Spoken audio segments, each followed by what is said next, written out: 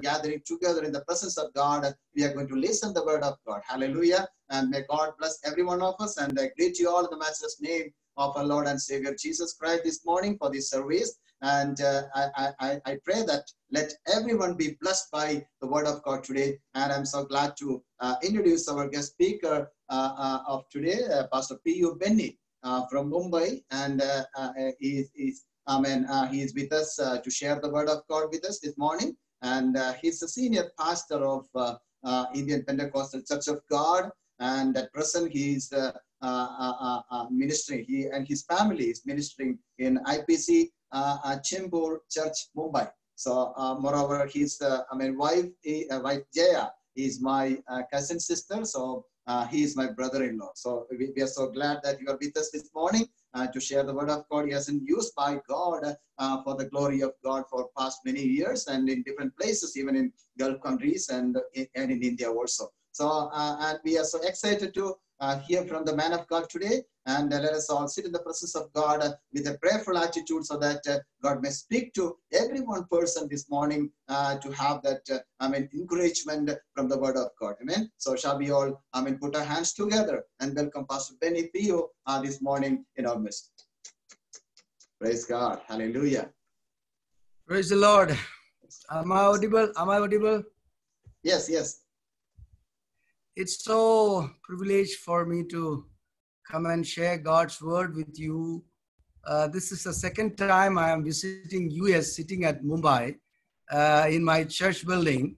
Uh, I've been sharing God's word few months before in a church in New York, and this time I'm in California, and I don't know what is the city next. Anyway, it's something uh, uh, very, uh, very unusual thing that no, we never thought that we will have such situations in our life. Uh, so, uh, whatever may be the situation, the Lord has allowed it.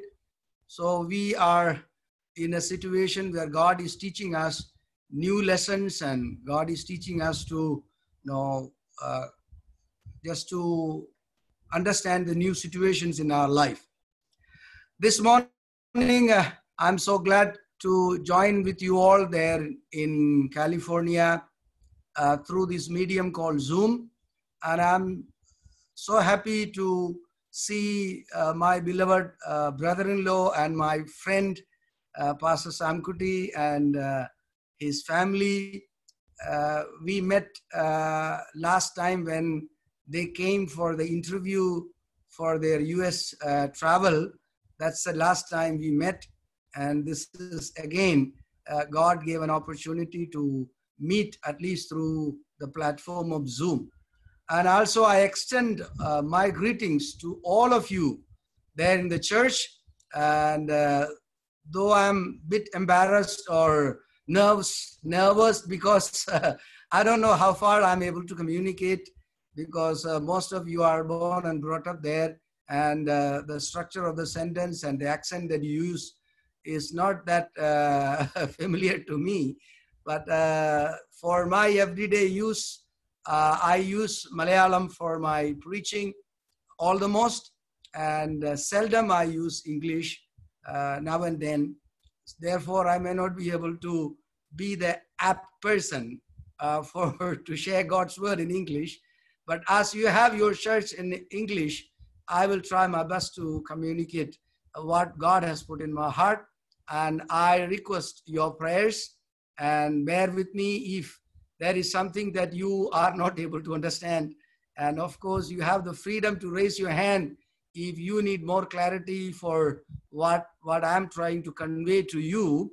So it's, I consider this as a privilege and I request the person who is hosting this meeting to please allow me for the screen sharing.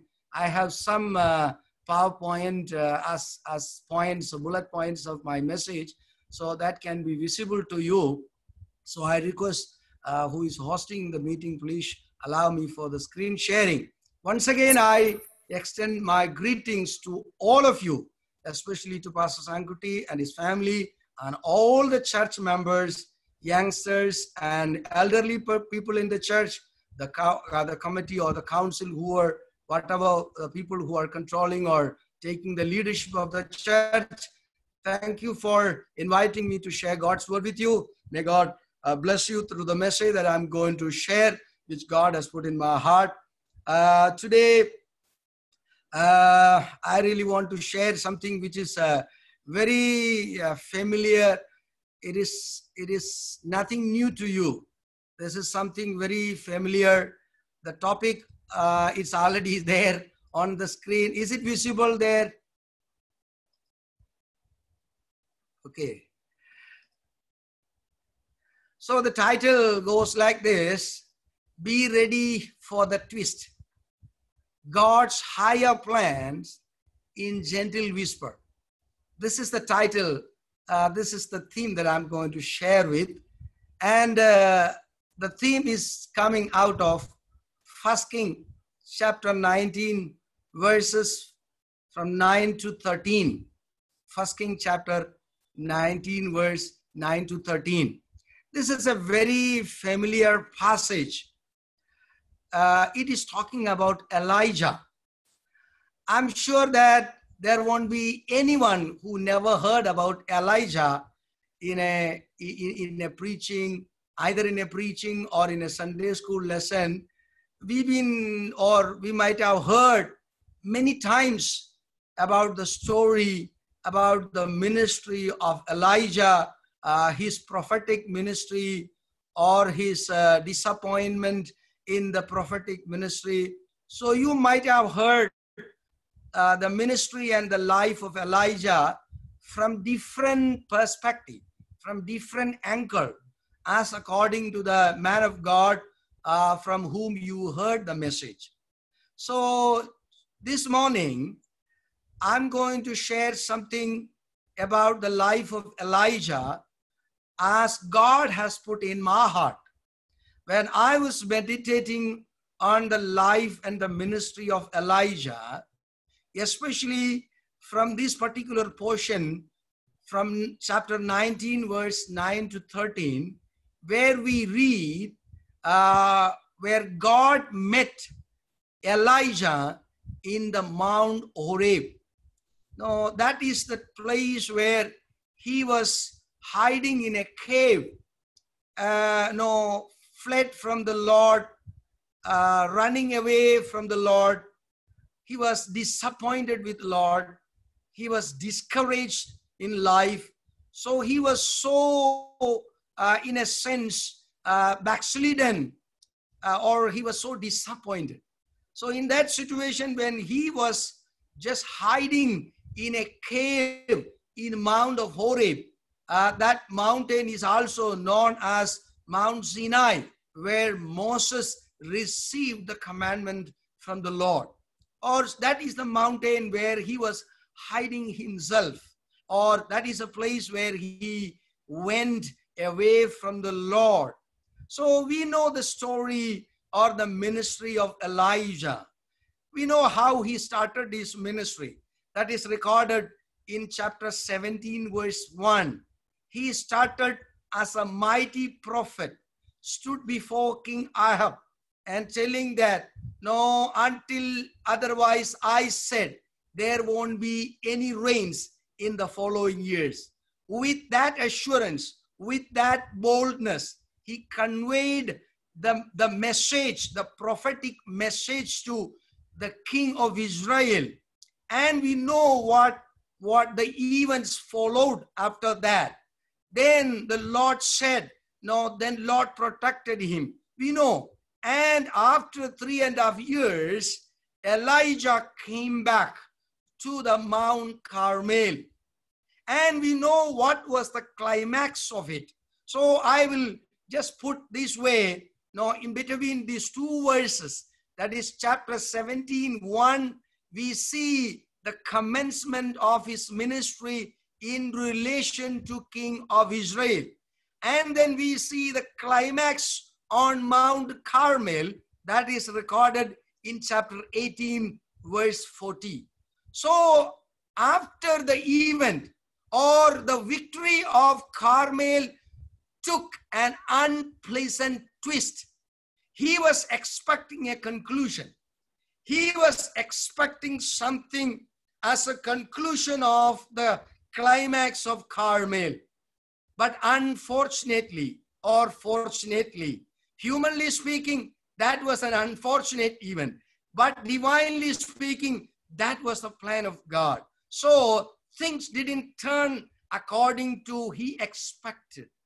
All his expectation did not come true. So after the victory in Carmel, he came to a, a valley of disappointment. What was the disappointment? It is recorded in chapter 19, verse 2. There was a threat from Jezebel. Jezebel, what she said, you will be like one of my prophet by tomorrow morning. He waited for the Carmel. He waited for that day of God's victory. He waited. He sacrificed a lot, suffering in, in the brook of Cherith, and then staying in a hiding place in Zarephath. And he suffered a lot.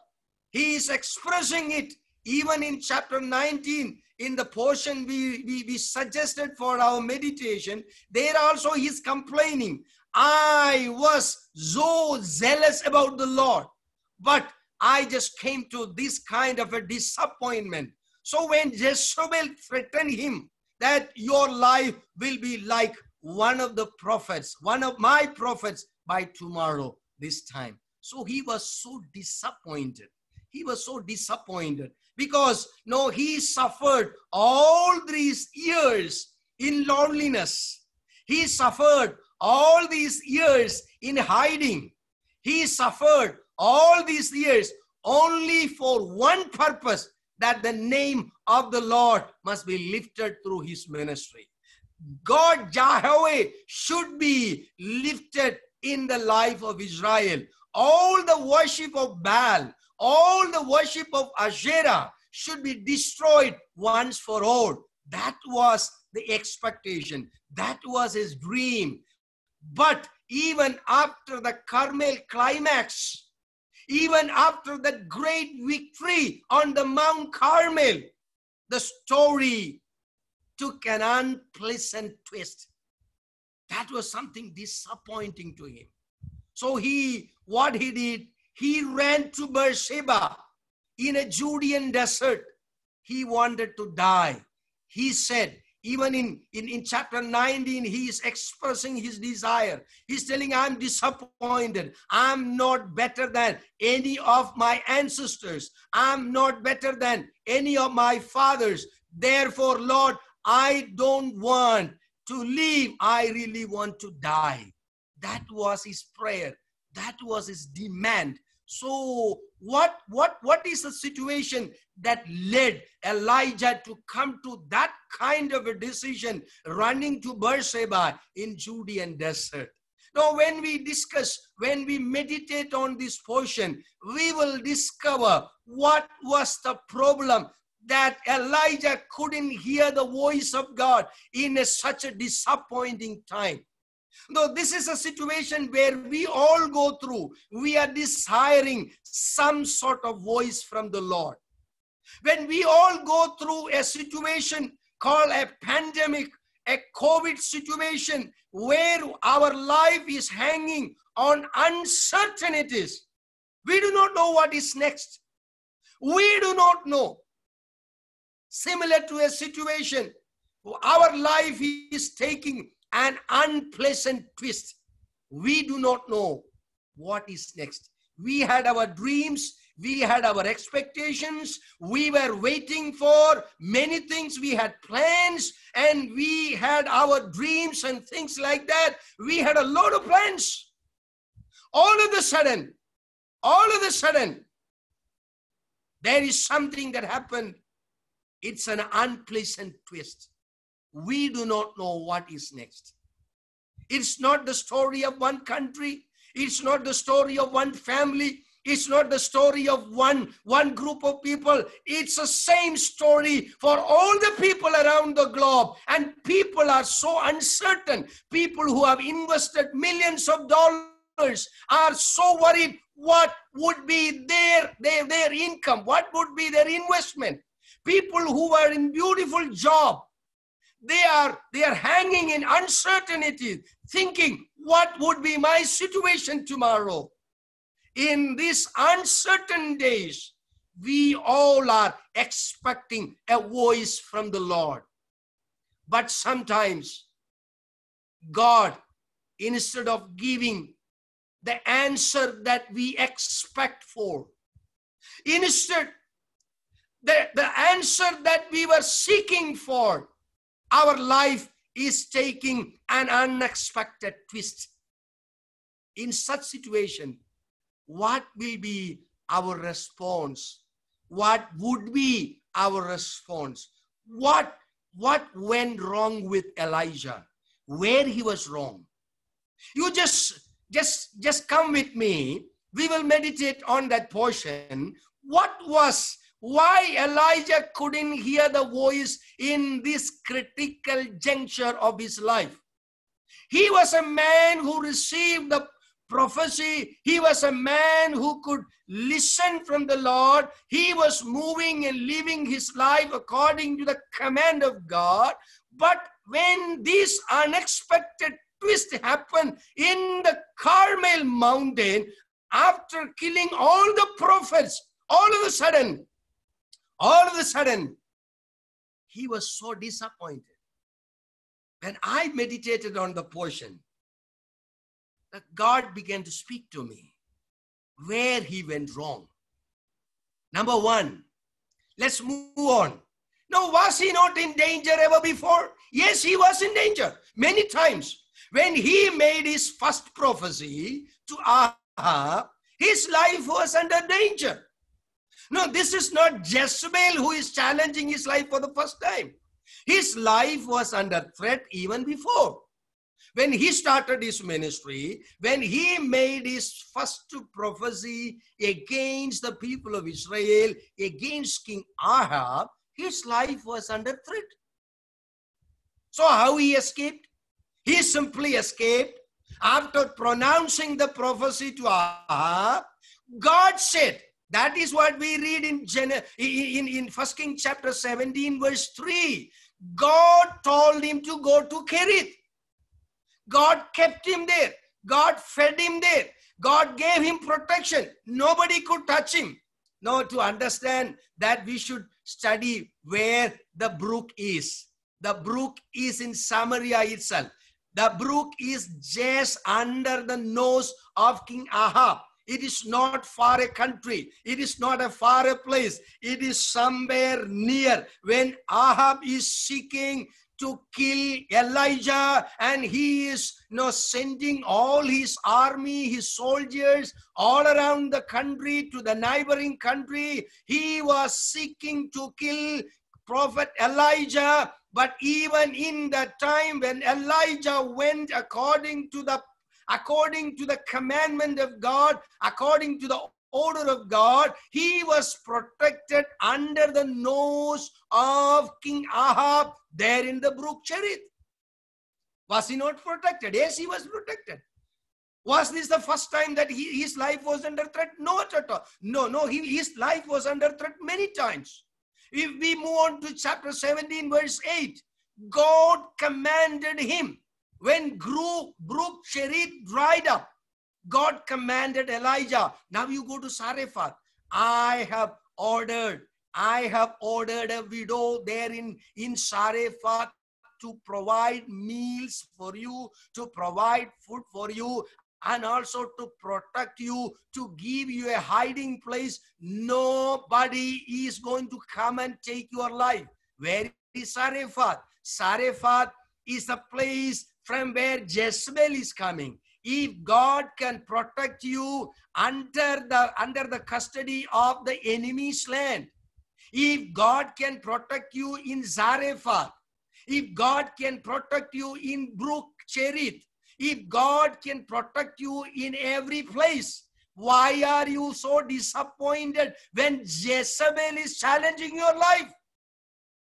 If God had protected you previous in the previous years, if God had given you directions when you had challenges in your life, why are you not why are you not seeking the face of the Lord now?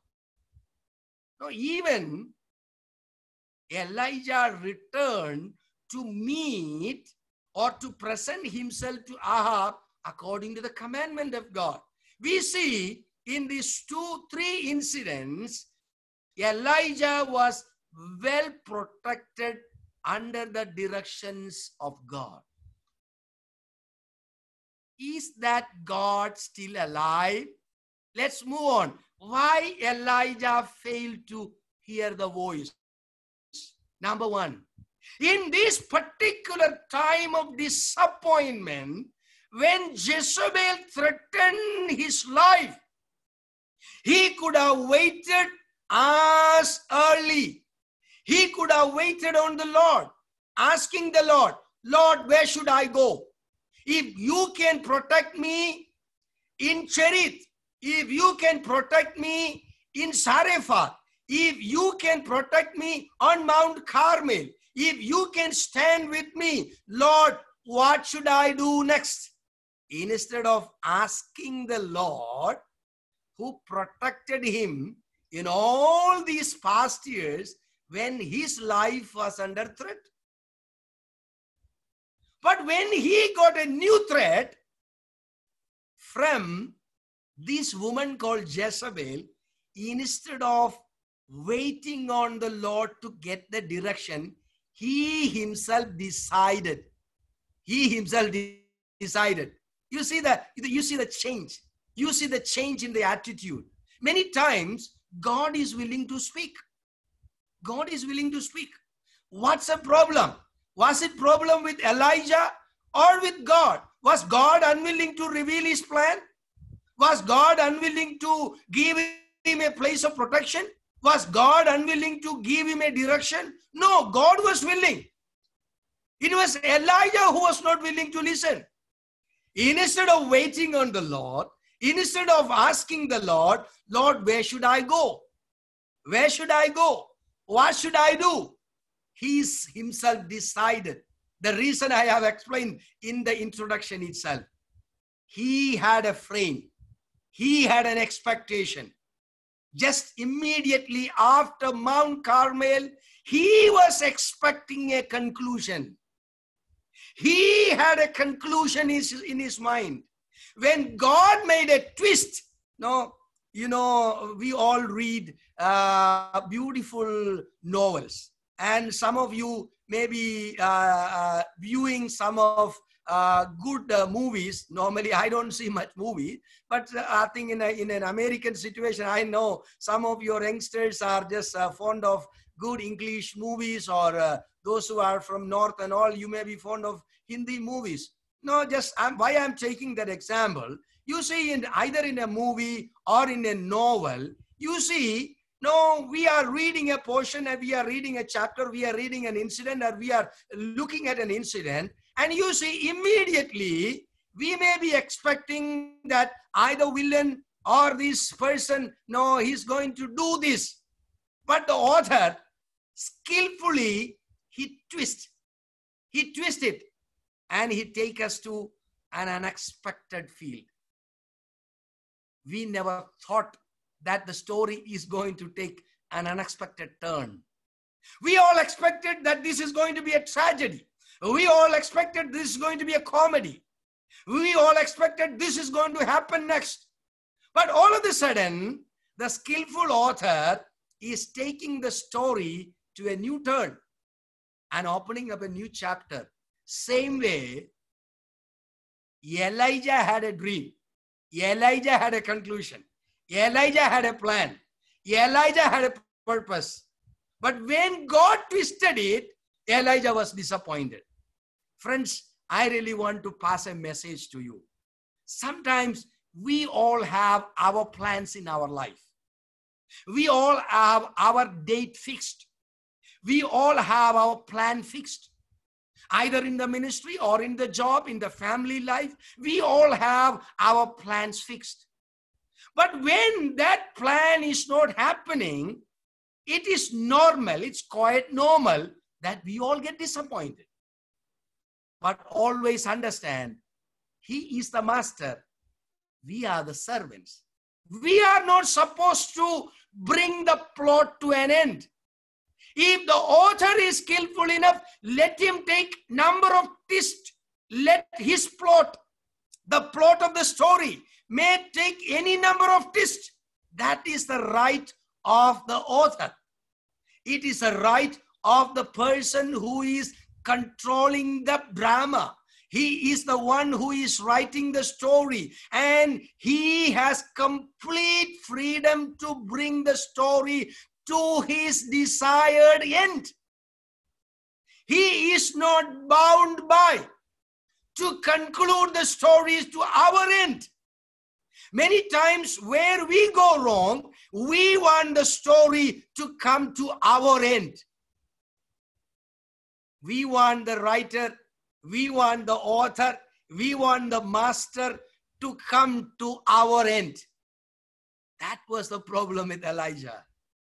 But if you are simply waiting and willing, Lord, I don't know the plot of the story. I don't know the drama that you are going to play. I don't know the, the twist that you are going to take, but I'm going to accept the twist. If Jezebel is challenging my life, I'm not here to argue. I'm not here to argue with the Lord. Simply wait and ask the Lord, what should I do? If Elijah would have asked that simple question on the Mount Carmel, he would not have been discouraged and disappointed this much in his life. What did? He ran to Beersheba. He ran to Judean desert, disappointed, loving to die. So God was not unwilling to speak. It was un- Elijah who was unwilling to listen. Many times it is not fault with God. Many times our disappointment is not from God's reason. The disappointment is that we are not willing to listen. So, in the case of Elijah, why Elijah failed to hear the voice of God that he heard in chapter 19, verse 9 to 13. What was the second problem? That was his misunderstanding and his misconception or his misrepresentation. Number one is misunderstanding or his misrepresentation. What was the problem with Elijah? No, he thought, I am the only one left. Already I said, Elijah always thought to bring his conclusion to the story because he is the man, he is the prophet, he is only one man left according to his understanding. His understanding that he is the only man, he is the only man for Jehovah. He is the only prophet for Jehovah. He is the only man who stood in the trial. He is the only man who stood against Jezebel. He is the only man who stood against Ahab. He is the only man who stood against the prophets of Baal. That was he thought. But that was not the story. Now, when we come to that in the uh, in, in the later portion, we will see there were seven thousand people left in Israel who never bow before Baal. He misunderstood. Now, sometimes when we do things, we, we think that we are the center of everything. Everything is revolving around our, our life. No. Never, never, never. Don't, don't, don't have a misrepresentation. He thought that he is a representative of God all alone in Israel. But God said, No, I can continue my work even if you conclude your ministry, even if your life is over, I am able enough to continue my ministry. I have 7,000 of them left in my hands whom I can use. Sometimes we think that oh, everything after is fled. No. Don't have that misrepresentation. He said, I am the only one left. I have been jealous for the Lord. And in 19 chapter 5 and 7, no, we read when he was you know, sleeping under the tree, under the broom tree, we, we see angel of the Lord came and touched him. That word, I have highlighted that word because it was not simply a pat. Now you simply read that verse that is there in chapter 19, verse 5 and 7, that in the two verses, it is specifically mentioned the angel of the Lord came and touched him. No, it is a touch of the Lord. Now, when we say, now sometimes we testify, yesterday I had a touch of the Lord, or God, the Lord touched me yesterday. Now we say, when we say the Lord touched me, what do we mean? It's something that quickeneth us. It is something that revive us. It is something that bring us to our sense. It is something that the dead vessels of our spiritual life is awakened. If we mean that by the touch of the Lord, here it is written, even when the angel of the Lord touched him for two times, nothing could revamp him. He was such a disappointed person, even the touch of the Lord. Even God Himself came to touch him. He could not come back to his sense. That kind of a situation he went through. What was the third problem that Elijah couldn't hear the voice of God in the difficult time of his discouragement and disappointment? Number three, he expected God to speak the way he thought. Now, we all have an expectation. Now, as I said, we expect God to speak within our frame. Now, that is what when we read in chapter 19, verse uh, chapter 19, verse 9 following. Now, when God appeared to him in the Mount Horeb, God appeared him in the whirlwind, God appeared him in earthquake, God appeared him in fire, but in, in three natural phenomena, in natural calamity, God was not there because his expectation is that if God represent, if God, the, the theophany happens, it should happen in this way. We all have expectations about our God. Now, sometimes we expect God to speak within our frame. You just remember the title I mentioned. God is willing to speak in gentle whisper. What was his expectation? His expectation, God speaking in a whirlwind. His expectation was God speaking in fire. His expectation was no something that is superior to Carmel. His expectation was God should come in this form, in this way, in this manner. But what was God's plan?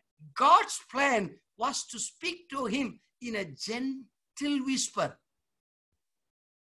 His heart was full of commotion.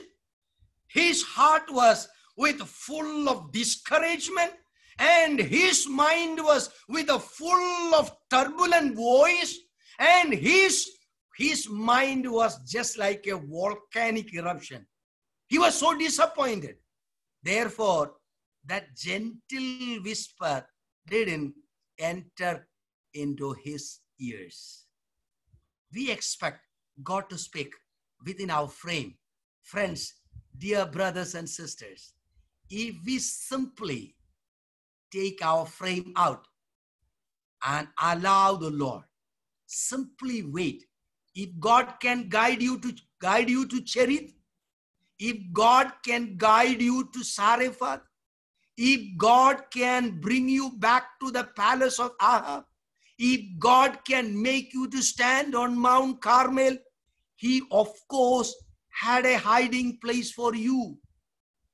He had a provision for you. He had something kept in store for you.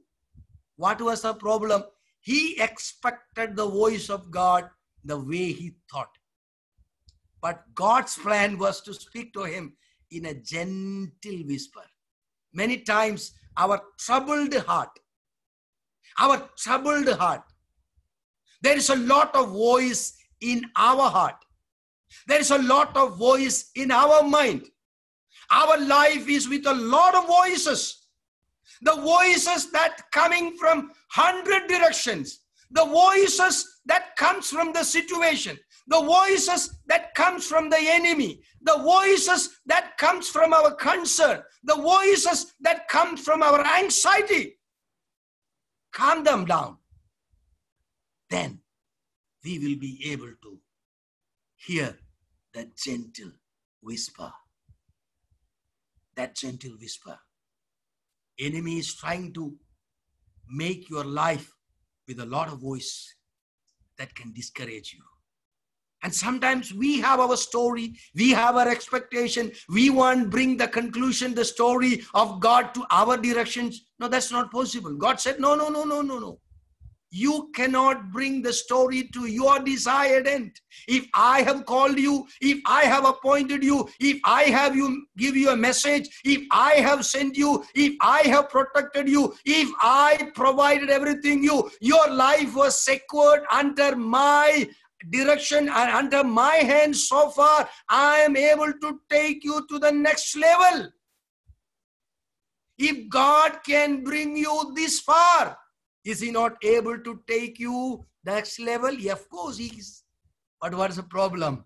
He was not willing. He didn't wait for the Lord, not even a second. Immediately after listening the threat from Jezebel, he ran to Judea. He ran to Beersheba. Not only he ran to Beersheba, he just slept under the tree and said, Lord, I want to die. I want to die. What a disappointing story. So let's move on. Now, God is what we understood about Him. Of course, true. We have an understanding of God. What is revealed to us about God is true. What you understood about Him in the scripture is true. But you should also understand God has something beyond our comprehension. That's a place where we feel. Of course, our understanding of God from the scripture is true. You have experienced Him, you have understood Him, but don't try to limit Him there. He is beyond our comprehension. Allow Him to speak. Elijah didn't allow God to speak. No, you give a space for him. Let God have a space. He is the master who has the right to alter, who has the right to make any twist in your life. He has a right. If you give space to him, if you give the freedom to the master, Lord, I thought this is what my life would be. Lord, I thought this would be the size of my life this would be the end of my life. But if the master want to alter your life, who are you to ask the master, let my life be like this only? No.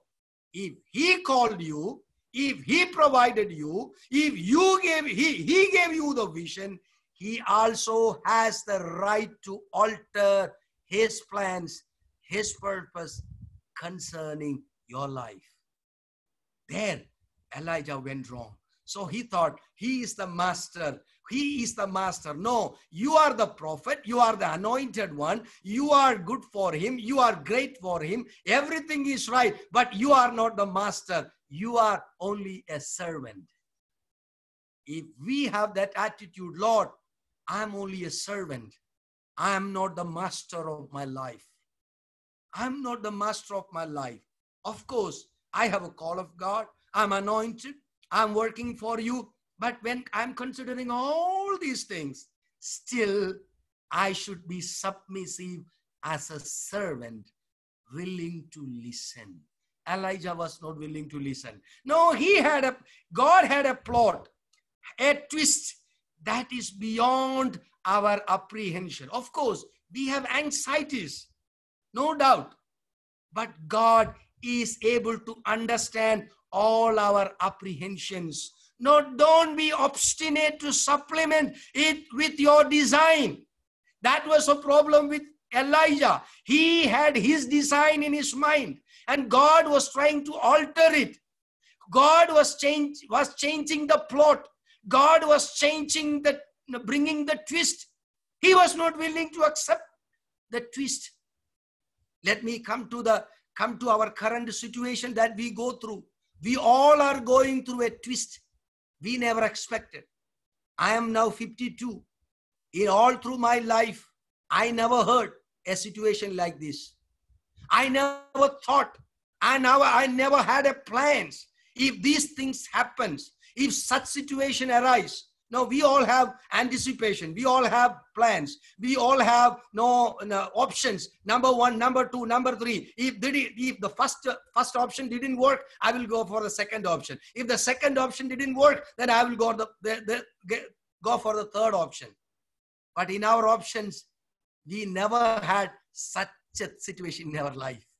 We never thought our life will be locked inside the house we never thought that Pastor Benny will speak from Mumbai online through to people in California. We never thought that we will be conducting our worship service for six months, for one year, and online. We never thought. We never thought. But God bring the twist. But when God is bringing the twist, God also has a provision. Just to understand what is after this. Only one thing. Don't get discouraged. Don't give up. Don't get panic. Simply quieten all other voice of anxieties. Simply ask the Lord, Lord, what should I do? What is your plan for my life after this? My education is disturbed. My job is disturbed. My family is disturbed. My income is disturbed. Everything is disturbed. Yes, our life is taking an unexpected turn. But immediately after this crisis, we will see how beautifully God has designed our future. If only we are willing to listen that gentle whisper, that gentle whisper, to listen that gentle whisper, we need to make a lot of changes in our life. Our life is with a full of voices and commotions and eruptions, volcanic like situations, anxieties, apprehensions. We are fully troubled in this troubled situation, if you expect to listen, nothing can be heard. But what we have to do, simply, simply, simply come and stand before the Lord. That is what in chapter 19, verse 9 to 13, it is written. God asked Elijah, Come and stand before me. Come and stand before me. You know, he could have done it there in the Carmel, but he didn't do it. No, when God met him, let's move on. No, when God met him, no, why he went to Horeb? No, you see, no, when, when God met him in, in, in the wilderness of Beersheba, what was God's demand? What God commanded him? Raise you have a long way to go. Elijah, if he was obedient to the Lord, he would have gone to the place and stand before the Lord as earlier, and he would have sought the grace of God and the counsel of God. Instead of seeking the counsel of God, he went further down. No, I know no, Samaria is on the north. And just I will show you the map. You see, here is the map. You see Galilee here on the middle. And there you see the Mount Carmel. I don't know whether you are able to see it clearly. You see Samaria, then you see Galilee. In the Samaria, you have the Mount Carmel. He was standing there. From there, he just came down all the way to south now you see Beersheba on the south end. Now when we come to Beersheba, now there he was supposed to go back to north. But instead of going to north, what he did, he went further. Now you see, further down to Mount Horeb. If you can see my cursor, I think it's see Mount Carmel here near to the Great Sea. It's written Great Sea is written. Now you see Mount Carmel is just facing the Great Sea there. From there he came to Beersheba here. If you can see my cursor. And then from instead of going to north to Damascus, where he was supposed to continue his ministry by anointing certain people to give his baton over to somebody else. What he did, he went down, down, down, further south into Mount Horeb. No, instead of traveling to God's direction, no, he was, no, you see, from Mount Carmel, he came to Beersheba, and when God asked him to go back, you have a long journey. That is all what mentioned. He didn't say the direction. He didn't say the place. He didn't say him to go to Horeb. He didn't say him to go and wait for me in Mount Sinai. No, God didn't say said all these things. He himself decided further south, further south, down again to he went to Horeb. There also he was not waiting on the Lord he hid himself in a cave. God came and asked the Lord, Elijah, now is the time. You stand before me. You just try to listen what, what I have to communicate to you. Try to listen. What was the problem? He was not willing to listen. He was not willing to let his ears open to the law, voice of the Lord. He was always running, running, running away and away and away.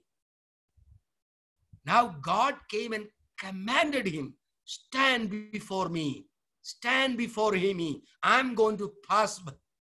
I'm going to pass by. I'm going to speak to you. I want to communicate to you. God came and visited him on the Mount Horeb or Mount Sinai. God said him, no, God said, I'm going to pass by. So he was little bit anxious. Yes, God is going to pass by. No, his expectation, already I said, he had an expectation of theophany. This is the way God appeared. This is the way God appeared. This is the way God speaks. He had an expectation.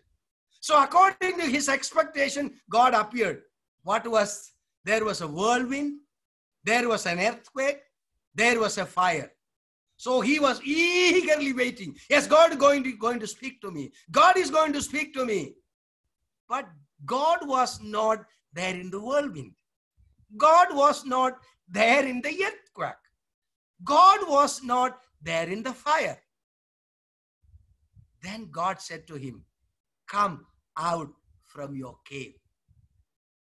Then he heard a gentle voice a gentle voice. Friends, let me come to the conclusion. What is God's answer for your life? When you are disappointed, when you are not seeking the face and grace of God, when you are so disappointed, when God is turning things to unpleasant twist, when God is bringing the story to his desired plot, which he never thought, which we and you never thought. What is the answer? Simply, it is written in chapter 19, verse 11 Stop running, stand before me. Stand before me. Dear brothers and sisters, dear church, this is my message for you. These days, simply allow, allow God to speak. God has a provision. If things are taking unpleasant twists and turns, if things are coming to unpleasant conclusions, we should ask, Lord, what is next? What is next? My future is in dark. My life is in dark. My life is in uncertainty. I have a threat all around my life. What should I do? What should I do?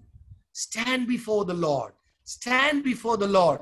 Allow me to speak listen to me. That was God said to Elijah. After Carmel, he expected a great theophany and a sudden judgment. That was his expectation. What was his expectation? After killing all the prophets of Baal, after killing all the prophets of Asherah, he was expecting a, a sudden judgment on Jezebel. But that didn't happen. That didn't happen. So he was disappointed. He answered in a gentle whisper. What was that he whispered?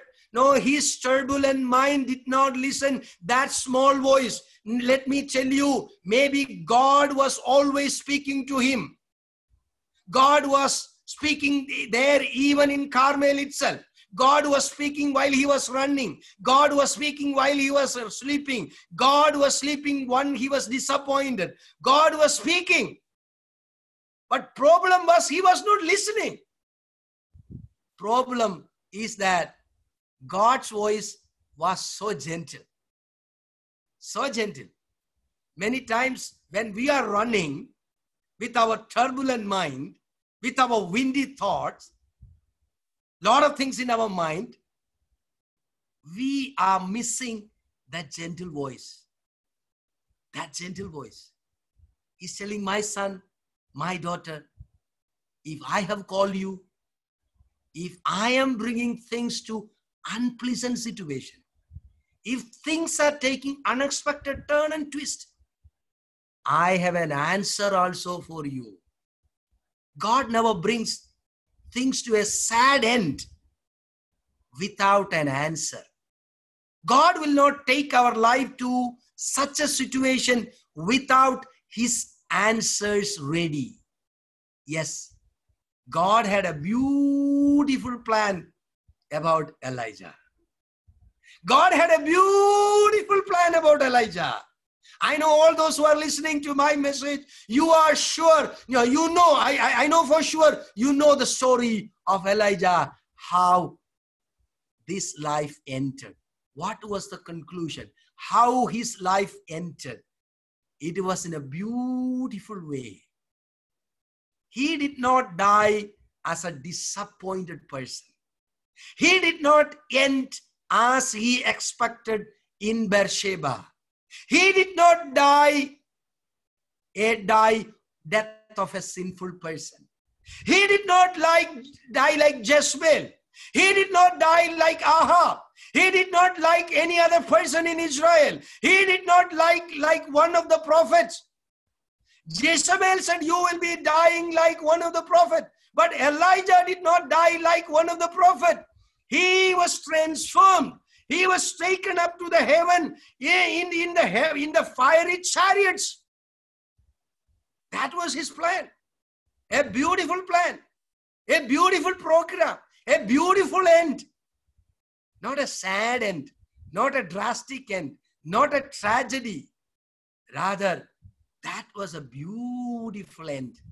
God was willing to communicate that beautiful story to him. But only problem was this time that was a gentle whisper. This time that was a gentle whisper. We know God speaking in many different ways. We know we, we have heard God spoken to us in different ways. But don't limit him only to that frame. God has a different way to communicate to you. God is speaking a different language to us. God is speaking something new to us, to this generation, to each one of us in a different way. God has something to communicate to us through this pandemic. God has a special message for his people through this pandemic. Are we willing to listen that church should not speak like the world? Believers should not speak like the world. God is speaking something else to the world. God is communicating something to the world. God is bringing things maybe of the different color, of the different manner to the world. But his communication to his redeemed people is not the same message that he is passing to the world.